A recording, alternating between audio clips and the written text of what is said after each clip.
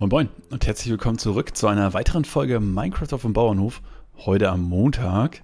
Und wie ihr es bestimmt schon mitgekriegt habt, äh, weil es schon auf der Webseite bekannt gegeben worden ist oder weil ihr es vielleicht äh, im Stream gehört habt oder von irgendeiner anderen Quelle über Twitter oder sonst irgendwas. Äh, ich bin bei Minecraft Doors mit dabei. ich freue mich da richtig drauf. Ich habe nämlich voll Bock auf das Projekt. Das wird äh, richtig, richtig insane. Ich, wird, äh, ich weiß noch nicht, wie viel ich davon aufnehmen werde und wie viel auf YouTube landen wird. Es wird auf jeden Fall ein gemischtes Pro Projekt sein. Das heißt, ich werde ähm, sehr, sehr viel streamen dazu. Also tatsächlich werde ich, äh, dass wenn ich denn streamen werde in der Zeit, die Masse davon die Masse davon Minecraft Doors spielen und streamen natürlich. Mm. Und das wird krass. Also ich habe da, hab da echt mega viel Bock drauf. Ich freue mich drauf, dass ich dabei sein darf.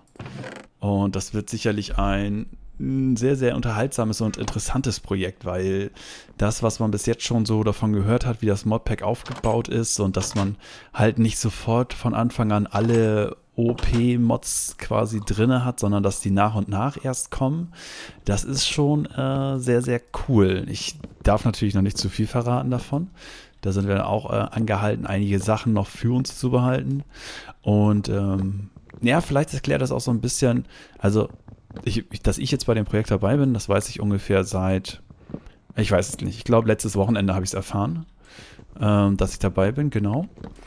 Und ich habe aber davor schon angefangen, meine anderen Sachen ein bisschen zurückzufahren, wie jetzt zum Beispiel Sky Factory oder auch die Forever Stranded Geschichte, einfach um halt ein bisschen mehr Zeit rausschaufeln zu können für dieses neue Projekt, dass das dann halt alles ein bisschen vorangeht.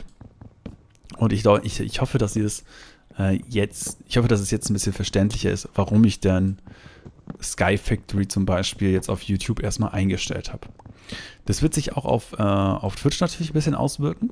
Wie jetzt gerade eben ja schon gesagt, ich werde halt gucken, dass ich mehr Content auf Twitch auch denn dazu bringe. Sprich, dann wird natürlich erstmal äh, Beyond auf Twitch auch pausieren. Das, ist, das sollte ja eigentlich ganz klar sein, dass das nicht, äh, dass das nicht be beides nebenher laufen kann.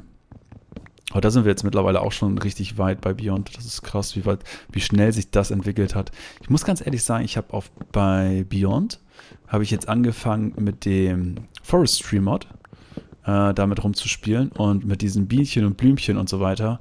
Das ist echt unterhaltsam und es macht echt viel Spaß mit den mit den Bienen zu arbeiten und äh, was man da alles machen kann und die Tiefe des Mods ist halt unheimlich cool. Also, das ist nicht einfach nur ein Gerät, was man hinstellt und dann kommt irgendwo OP-mäßig irgendwas rausgefallen. Nee, man muss sich halt schon so ein bisschen Gedanken machen, was, was kommt jetzt als nächstes und wie, wie kann ich das hinkriegen, dass ja die richtigen Bienen jetzt da rauskommen, was muss ich kreuzen hier und da und da gibt es noch einen Second-Mod sozusagen, der dafür sorgt, dass ich, äh, dass ich dann die, die ganzen Sachen auch, also dass ich Genmanipulation durchführen kann und so weiter und so fort. Ich äh, merke gerade wieder, wo ich das letzte Mal stehen geblieben bin. Wir haben eine Spinne in der Scheune. Die musste erstmal, die muss erstmal beiseite äh, entfernt werden, die Spinne. Stimmt, ich sehe gerade, wo ich stehen geblieben bin. Und ich glaube, hm, ich habe ja an den, an den Dächern, am Dach, da habe ich ja auch die äh, dunklen Balken nochmal hochgezogen. Ich glaube, die können wieder weg, weil das wird, glaube ich, auch ein bisschen anders gemacht. Aber wir können sie eigentlich auch erstmal stehen lassen. Das ist, glaube ich, jetzt erstmal nicht so wichtig. Ich werde jetzt erstmal noch hier den Boden weiter rausreißen, bis das, bis ich den einmal komplett raus habe. Ähm, stimmt, ist ein Kommentar reingekommen, von wegen, äh, dass ja man, dass man hier oben ja einen Heuboden machen kann. Genau, das ist so, so ist das auch angedacht, dass hier oben ein Heuboden reinkommt. So sieht man das auch im Video zu dem, zu der Scheune. Ich habe das Video, den Link zu dem Video mittlerweile rausgenommen. Der war äh, lang genug in der Beschreibung. Hm, also einfach mal, was ist nicht, so zwei, drei, fünf Videos zurückgucken da ist in der Beschreibung auf jeden Fall ein Link zu diesem Tutorial-Erklärvideo von der Scheune, nach der, welchem Bauplan ich das denn zurechtbaue. Ne, also, dass dann hier, dass dann hier Heu und Stroh reinkommt, das ist äh, richtig, richtig erkannt. Sehr schön. Das hast du, hast du gut erkannt. Und hier unten kommen die Pferde rein. Also hier unten möchte ich die Pferde reinstellen. Das äh, kommt dann aber auch erst, das kommt dann, sobald es soweit ist. Genau. So. Äh, ich habe noch ein bisschen, was habe ich denn noch sonst so gemacht? Hm, weiß ich gar nicht. Ich habe ja die, äh, die letzte Folge, also die Folge am Samstag, die habe ich ja, pass mal auf, ich fange jetzt erstmal da hinten wieder an, ein bisschen Boden drauf zu bauen, damit wir, damit wir da besser gehen können. Wobei 60 hm, Blöcke ist jetzt ja auch nicht der, ist jetzt auch nicht der Bringer, ne? Äh, ja, das habe ich mir doch. Oh, lol, lol, lol, lol, lol. Leo, Leo springt mir erstmal schön vor die Füße, ey. Nice. Das hast du gut gemacht, Leo. So macht man das. So. Wir werden einfach mal hier rückwärts, sneaky rückwärts entlang laufen. Dann kann ich nämlich hier einen absetzen. So. Dann kriegen wir nämlich hier ein bisschen, ein bisschen was an Holz hingestellt. Das ist doch, das ist doch hervorragend. Ja, da ist Leo jetzt runtergefallen, da hat er aber selber Schuld. Ich war, ich war nicht dran. Ich bin mir ziemlich sicher, ich war nicht dran. Ist er, wo ist Leo? No, ich bin auch runtergefallen. Wo ist Leo? Wo ist er schon wieder hin? Ist er schon wieder oben oder was? Ne, da bist du. Komm mal her. Hier, hast was. Hast was zu naschen. Ich will, ich, ich nasche auch mal kurz was. Da geht es mir auch wieder besser. Guti, wir müssen eine, eine einmal Bodenbelag müssen wir noch rausnehmen. Dann haben wir den oberen Bereich schon so weit, so wie er sein soll eigentlich. Und dann müssen wir mal gucken, dass wir das hier oben alles ein bisschen ausleuchten noch besser. Und natürlich die, den Boden an sich noch weiter, weiter reinziehen. Da gehört ja noch ein bisschen was dazu. Kannst du dich mal... Wo ist denn jetzt schon wieder? Ach, da bist du. Alles klar. Mach Sitz. Da kann er, da kann er erstmal sitzen bleiben. Da ist... Da ist er aus dem jeglichen Gefahrenbereich raus. Und stört mich auch nicht. Das ist eigentlich ganz gut so muss ja immer so ein bisschen drauf achten, ne? nicht, dass, äh, nicht, dass da doch noch irgendwas passiert. Wegen, äh, eine Sache noch wegen äh, Doors, die mir gerade einfällt. Wann startet das Ganze? Das ganze Projekt startet nächsten Samstag. Nächsten Samstag um 12 Uhr kommt die erste Folge raus. Und ich habe eigentlich bis jetzt geplant, dass ich dann auch den Samstag höchstwahrscheinlich noch das äh, von der Karte streamen werde. Ja, dass ich von der Karte streamen werde und dann muss ich mal gucken, wie ich das äh, weiter handhabe mit, oh, mit äh, von der Karte streamen mh, mm, aufnehmen. Da bin ich mir noch nicht so ganz sicher, wie ich das machen werde. Ob ich jetzt wirklich tagtäglich Minecraft Doors Folgen für YouTube raushaue oder oder ob ich, äh, weiß nicht, irgendwie jeden zweiten Tag eine Minecraft Doors Folge raushaue, weil auch jeden zweiten Tag irgendwie ein Stream ist, bis auf am Wochenende, da ist halt täglich und dass das dann halt irgendwie so ein bisschen ja durch nicht, nicht durcheinander ist, sondern äh, was ich eigentlich ungern möchte, ist euch in irgendeiner Art und Weise zu sehr zu spoilern. Na, sprich zu sagen, okay, dass man das wenn man jetzt zum Beispiel in den Stream kommt, dass man da schon mehr Fortschritt sieht als in den Videos. Das wird halt sehr, sehr kompliziert sein. Ne? Ich glaube, dass das werde ich, ich glaube, ich werde das tatsächlich auch so machen, dass ich nur vielleicht jeden zweiten Tag ein Video rausbringe von Doors. Mm, und das dann halt immer so nach dem letzten Livestream quasi. Ne? Dass man halt sagt, okay, wenn jetzt montags zum Beispiel Livestream war, dann mache ich montags nach dem Livestream eine Folge für Dienstag zum Beispiel. Oder macht, ja genau. So, so müsste das dann ungefähr ablaufen, dass ich dann halt mich dann Montagabends noch hinsetze und dann eine Folge schnell für, für YouTube aufnehme. Und das ist dann quasi die Folge am Dienstag, dass ihr dann eine Zusammenfassung bekommt von dem, was im Livestream war. Und aber trotzdem schon irgendwie was Neues passiert. Ne? Irgendwie, keine Ahnung, irgendeine Maschine fertig gebaut oder ähm, irgendwie was. Im Livestream kann ich ja, habe ich ja die Möglichkeit, dass ich da viel grinde. Also viel jetzt irgendwelche Sachen farmen, buddeln gehe oder sonst irgendwas. Und in den Videos machen wir dann halt so ein bisschen kniffligere Sachen. Ne? Also Sachen, die halt so ein bisschen, ja, wo man halt ein bisschen mehr nachdenken muss. Wo man vielleicht auch nicht so sehr auf den Chat achten kann oder, oder, oder.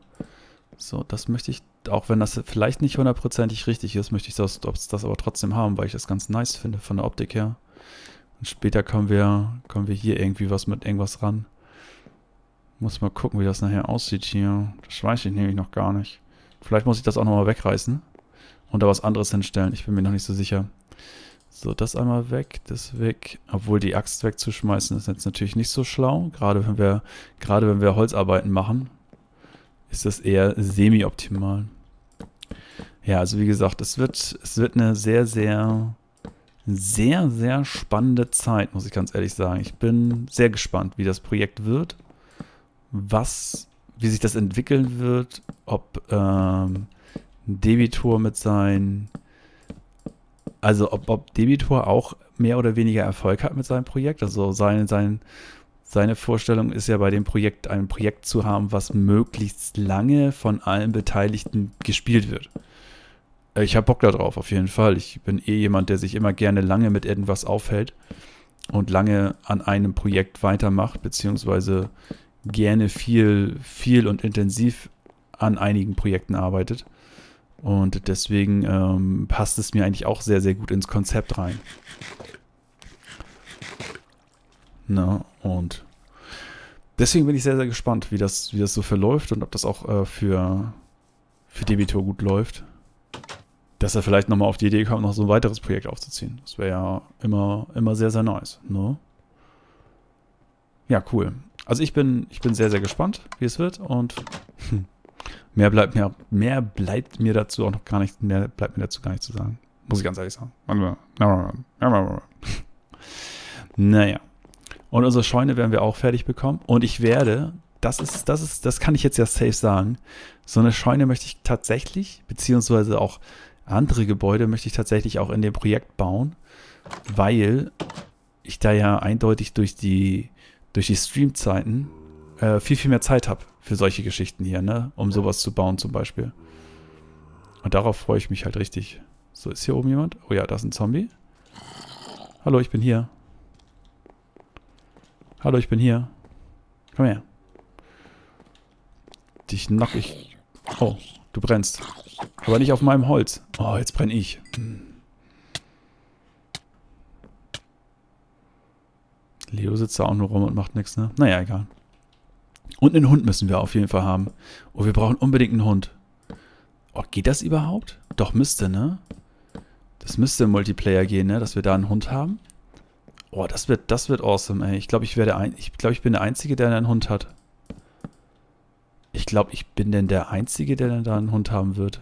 Oh, das wäre ja cool. Oh, das wäre richtig nice. Da müssen wir gleich am Anfang gleich am Anfang schauen, dass wir uns irgendwie, dass wir uns irgendwie da auch einen Leo schnappen oder so. Oh, das wäre cool. Ha. Geht das im Multiplayer? Ich hoffe, ne? Eigentlich müsste das funktionieren, oder? Dass man sich da einen Hund hält oder so. Ich habe das noch nie ausprobiert. Beziehungsweise einen Wolf. Aber an und für sich müsste das... Warum sollte das nicht funktionieren? Das, das, das, das machen wir. Da habe ich richtig Bock drauf. Dass wir uns da noch einen kleinen Leo oder so oder irgendwas anderes, keine Ahnung. Oder eine Leonie? Vielleicht auch eine Leonie. müssen wir mal schauen. So, jetzt müssen wir mal gucken. Genau, ich wollte nämlich schauen, dass wir jetzt hier noch die Balken hochziehen. Gegebenenfalls. Habe ich Erde dabei? Ja, habe ich. Gut, dann würde ich nämlich sagen, machen wir erstmal eins, zwei, dreimal Erde. Dann kann ich nämlich trotzdem noch... Ne, kann ich nicht. Bin ich schon tatsächlich zu hoch, wa? Da aber und da, genau. Eins, zwei und Nochmal, nee, nicht nochmal. Sondern das und das. Alles klar, das reicht. Das passt. Wie hoch ist denn das überhaupt? Das sind 1, 2, 3, 4, 5 Blöcke. Dann kann ich das hier eigentlich auch gleich raufziehen, ne? Äh, 1, 2, 3, 3, 4, 5. Alles klar. Einmal einen Sprung nach unten. Hat mich wieder ein Herzchen gekostet, aber es ist nicht so schlimm. Guckt euch das mal an. Das sieht doch jetzt schon viel besser aus. Obwohl, ach, wir müssen noch einen höher. Stimmt, wir müssen noch einen höher, weil, ähm, weil wir ziehen ja etwas Holz hier wieder raus, ne? Wir nehmen den raus und setzen den rein und das können wir da auch gleich machen. Dann passt das nämlich gleich. Meine Schaufel ist gleich im Arsch. Ne, doch nicht. Sehr schön. Sehr schön. Äh, können wir den rausnehmen? Ich glaube nicht, oder? Das ist ja kein Slab, das ist ja ein Stair, was da drin ist, ne? Wenn wir den rausnehmen, dann sieht man das auf der anderen Seite. Das ist auch uncool. Na gut. Jetzt müssten wir eigentlich weitermachen mit dem Dach, ne? Das Dach ist jetzt eigentlich das nächste, beziehungsweise, ah, guck mal, hier drüben fehlen auch noch welche. Da können wir jetzt auch gleich, ja, fünf denn oben drauf, ne? Eins, zwei, drei. Ja, ich muss, ich muss das ja mit, äh, mit Erde von der Seite machen. Weil ich ja hier oben noch einen Slab wegnehmen muss. Stimmt. Beziehungsweise ist der gar nicht hier. War ich gar nicht so hoch genug? Doch, doch, hier ist er. Den hier müssen wir rausnehmen. Den Kollegen müssen wir rausnehmen und dann können wir das da reinbauen. Und jetzt gehen wir auf der anderen Seite nochmal schnell hoch. Ich habe zwar jetzt keine Schaufel. Ach doch, wir haben hier noch Schaufeln. Ach, lol. Dann gehen wir auf der Seite hier nochmal hoch. Eins, zwei, drei. Na, das wird zu hoch, ne? Nee, doch nicht. Haha. Passt gerade so. Mal einmal kurz rüber geguckt. Ich glaube, ich glaube, einer geht noch, oder? Oder sogar noch einer. Ich glaube sogar noch einer. Ich glaube, ja, das ist passend. Sehr schön.